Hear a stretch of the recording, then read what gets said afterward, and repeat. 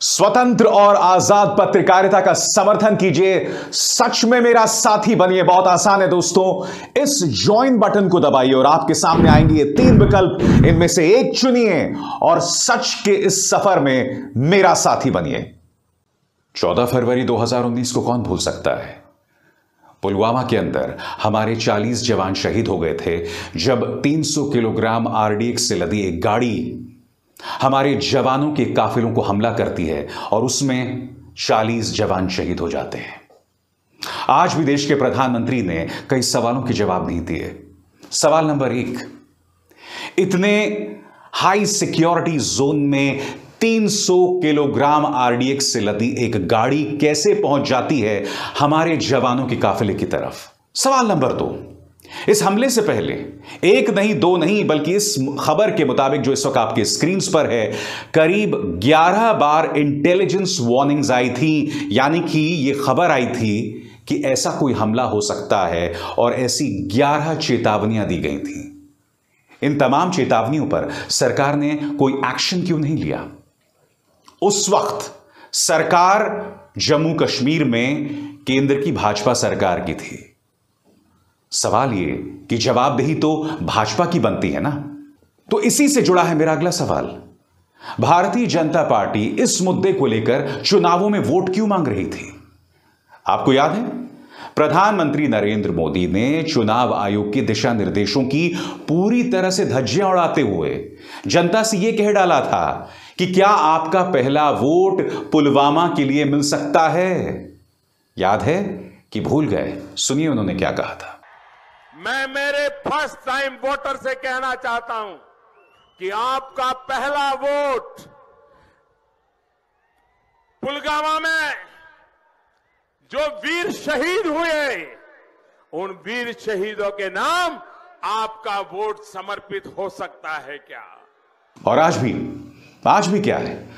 आज भी प्रधानमंत्री नरेंद्र मोदी उन्हें अपनी श्रद्धांजलि दे रहे हैं। उन बुनियादी सवालों का बगैर जवाब दिए।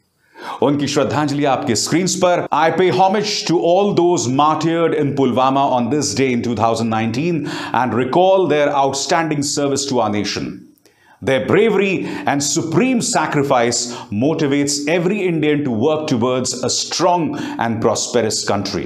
बिल्कुल। उनकी शहादत हम सब के लिए प्रेरणा है। मगर उनके परिवार ये नहीं भूल पाए हैं प्रधानमंत्री महोदय। कि कई जवानों की सिर्फ़ एक हड्डी उनके घर पहुँची थी। आज भी कई मुद्दों को लेकर उनके किसी सवाल का जवाब नहीं दिया गया है। इस मुद्दे को लेकर राहुल गांधी ने करारा हमला बोला है। क्या बोल रहे हैं वो? पुलवामा के शहीदों को हम कभी नहीं भुला सकते। उनका व उनके परिवारों का बलिदान बेकार नहीं जाएगा। हम जवाब लेके रहेंगे। जय हिंद। इस देश में सवाल पूछना आज की तारीख में गुनाह हो गया है। इस देश में सवाल पूछना देशद्रोह हो गया है। अगर आज विपक्ष के नेता इस मुद्दे को लेकर सवाल करते हैं तो भारतीय जनता पार्टी के नेता उन पर निजी हमला बोलना शुरू कर देते हैं, जैसे कि ये महाशय, हेमंत बिस्व शर्मा, जिन्होंने ये तक कह दिया कि क्या हम राहुल गांधी से सवाल पूछें कि वो राजीव गांधी के बेटे थे या नहीं है, या उसका क्या प्रमाण है? हेमंत बिस्व शर्मा ने सिर्फ़ राहुल गांधी पर हमला नहीं बोला। हेमंत बिस्व शर्मा ने यह अश्लील हमला सोनिया गांधी पर किया है। कांग्रेस की बुज़ुर्ग नेता। एक लोकतंत्र के अंदर सवाल लाजमी है।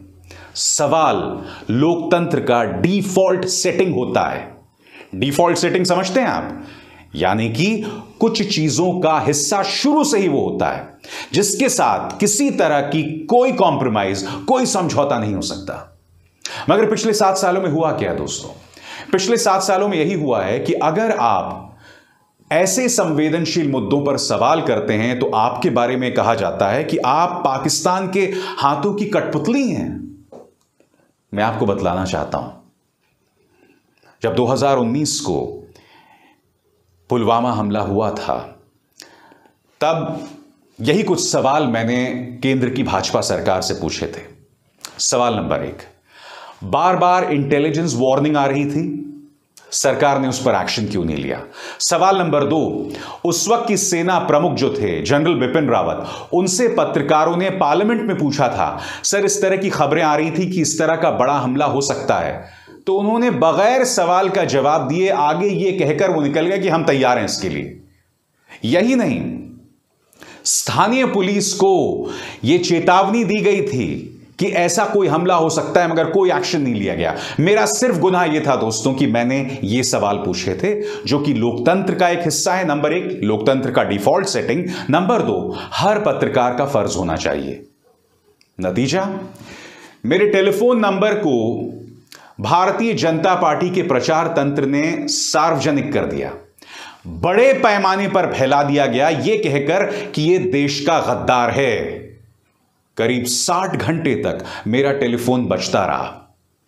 जो लोग मुझे कॉल करके गालियाँ दे रहे थे, उनको यह भी नहीं पता था कि मैं कौन। हूँ उन्हें बस यह समझा दिया गया था कि यह देश का गद्दार है। अधिकतर लोगों को नहीं पता था, दोस्तों।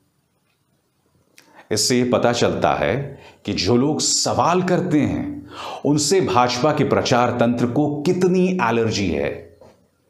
मगर भाजपा प्रचार तंत्र के जो ये पांडे, शर्मा, चतुर्वेदी, जो भी हैं ये लोग, तुम्हें समझना होगा कि अभिसार शर्मा सवाल करने से पीछे कभी नहीं हटने वाला। तीन साल गुजर चुके हैं, वो सवाल अभी भी वहीं बने हुए हैं। उन सवालों के जवाब अब तक नहीं दिए गए हैं। उल्टा कुछ दिनों पहले एक वीडियो सामने उभर कर आया था, जिसमें ऐसी एक गाड़ी के अंदर कुछ जवान बैठे थे और वो ये शिकायत कर रहे थे कि हम लोग एक बहुत ही सेंसिटिव इलाके से गुजर रहे हैं, हमारे आसपास नक्सली हैं, मगर हमें किसी तरह की कोई सुरक्षा नहीं है। हमारी जो गाड़ी है वो बुलेट प्रूफ नहीं है, जबकि जो हमारे कमांडर हैं, उनकी गाड़ी आगे चल रही है, वो पूरी तरह से बुलेट प्रूफ है। उस वीडियो में वो जवान ये कह रहे थे कि क्या हमारे जान की कोई कीमत नहीं? वो जवान ये भी कह रहे थे कि हम पर अगर कोई हमला करेगा आरडीएक्स के ज़रिए या लैंडमाइन बारूदी सुरंग के ज़रिए तो उन्हें जवाब देने का हमें मौका भी नहीं मिलेगा। और ऐसा नहीं कि पुलवामा के बाद हमारे जवानों पर हमला नहीं हुआ।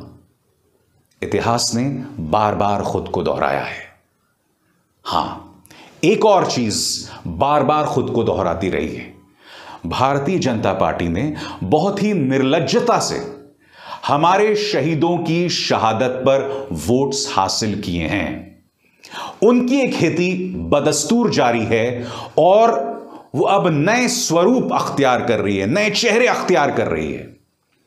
अब उन्होंने एक तरह से इस देश की डिफ़ॉल्ट सेटिंग बना दिया है, यानी कि इस देश की स्वाभाविक नेचुरल सोच का हिस्सा बना दिया है कि जो भी जो भी सरकार से सवाल करेगा, वो दरअसल देश के सैनिकों की तोहीन कर रहा है, उनकी बेइज्जती कर रहा है। भारतीय जनता पार्टी की ये उपलब्धि है। मगर तीन साल गुजरने को आ गए, आज भी उन सवालों का कोई जवाब नहीं है। खैर, मेरा तो फ़र्ज़ है दोस्तों वो मुद्दे लाना है जिसका सीधा ताल्लुक आपके साथ है। दुख की बात यह है कि जब मैं मुद्दे उठाता हूँ तो मैं देखता हूँ अक्सर कि कमेंट सेक्शन में कुछ नफरती चिंटू, कुछ अंधभक्त उन्हें इस पर भी प्रॉब्लम है। मगर मैं आपको दोष नहीं देता दोस्तों। आप लोग दरअसल उस प्रचार तंत्र का शिकार हैं जो पूरी तरह से आपको सम्मोहित कर चुका है।